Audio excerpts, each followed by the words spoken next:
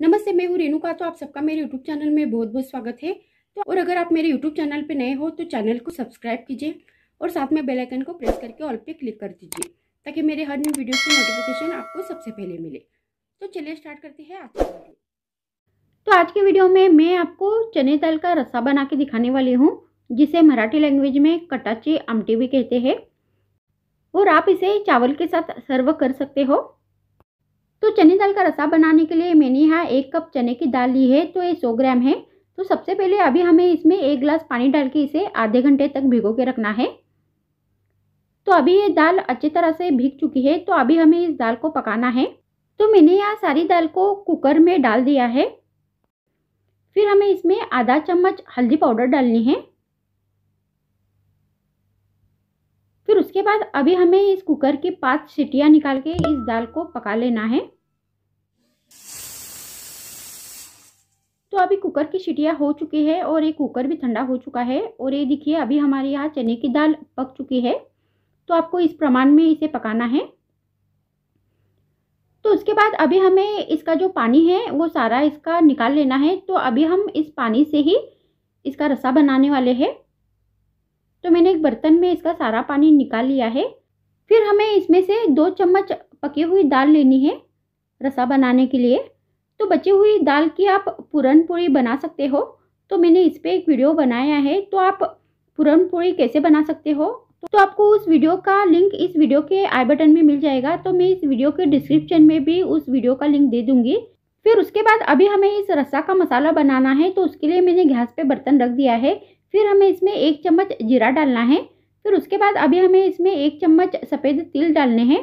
फिर हमें इसमें दो या तीन दालचीनी डालने हैं। फिर उसके बाद अभी हमें इसमें छः या आठ लवंग डालनी है। फिर उसके बाद अभी हमें इन सारे मसालों को अच्छी तरह से भून लेना है। तो अभी ये मसाले अच्छे से भून चुके हैं तो आप इसकी जगह दो चम्मच गरम मसाला भी इस्तेमाल कर सकते हो। तो अभी मैं इन सारे मसालों को एक बर्तन में निकाल लेती हूँ।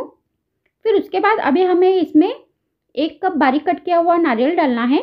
फिर उसके बाद अभी हमें इसमें एक चम्मच तेल डालना है और इसे हमें अच्छी तरह से फ्राई कर लेना है।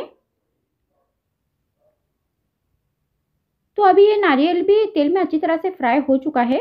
तो इसे भी मैं एक बर्तन में निकाल लेती हूँ। फिर उसके बाद अभी हमें इसमें एक बड़े साइज़ में कट किया हुआ प्याज डालना है।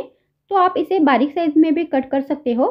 फिर इसे भी हमें अच्छी तरह से ब्राउन होने तक फ्राई करना है। तो अभी प्याज भी अच्छी तरह से ब्राउन हो चुका है तो अभी हमें इन सारे इंग्रेडिएंट्स को एक मिक्सर के बर्तन में डालना है। फिर उसके बाद अभी हमें इसमें सात या आठ लहसुन की कलियाँ डालनी है। फिर उसके बाद हमें इसमें एक कप बारीक कट किए हुए हरी धनिया डालनी है। फिर उसके बाद हमने जो चने की दाल पकाई हुई थी तो वो इसमें सारी डाल देनी है। और उसके बाद अभी हमें इसमें पानी डाल के इसका बारीक पेस्ट बनाना है। तो अभी ये मसाला बन के तैयार हो चुका है। तो मैंने यहाँ रसा बनाने के लिए गैस पे एक बर्तन रख दिया है। फिर हमें इसमें छः चम्मच तेल डालना है। फिर तेल थोड़ा गर्म होने के बाद हमें इसमें आधा चम्मच राई डालनी है। फिर राई तड़तरने के बाद अभी हमें इसमें आधा चम्मच जीरा डालना है और इसे हमें तेल में फ्राई करना है। फिर उसके बाद अभी हमें इसमें पाँच या छः लहसुन की कलियाँ डालनी है। फिर उसके बाद अभी हमें इसमें सात या आठ कड़ी पत्ता डालने हैं और इन्हें हमें तेल में फ्राई कर लेना है। फिर हमें इसमें आधा चम्मच हल्दी पाउडर डालनी है। फिर उसके बाद हमें इस तेल में स्वाद अनुसार लाल मिर्च पाउडर डालनी है। तो लाल मिर्च पाउडर तेल में डालने से रसा को लाल कलर बहुत अच्छा आता है। फिर हमें इसमें हमने जो मसाला बनाया था तो वो सारा इसमें डाल देना है। फिर उसके बाद अभी हमें इन सारे इंग्रेडिएंट्स को अच्छे से मिक्स करना है। फिर उसके बाद हमने जो चने दाल में से पानी निकाला था तो वो इसमें सारा डाल देना है। फिर उसके बाद हमें इसमें चार चम्मच इमली का पेस्ट डालना है। तो हम टमाटर की जगह इमली का पेस्ट इस्तेमाल करने वाले हैं। फिर उसके बाद अभी हमें इसमें स्वाद अनुसार नमक डालना है। फिर उसके बाद हमें इसमें स्वाद अनुसार चीनी डालनी है तो आप चीनी की जगह गुड़ का भी इस्तेमाल कर सकते हो। तो उसके बाद हमें इन सारे इंग्रेडिएंट्स को अच्छे से मिक्स करना है और हमें इस रसा को 10 मिनट तक अच्छे से पकाना है।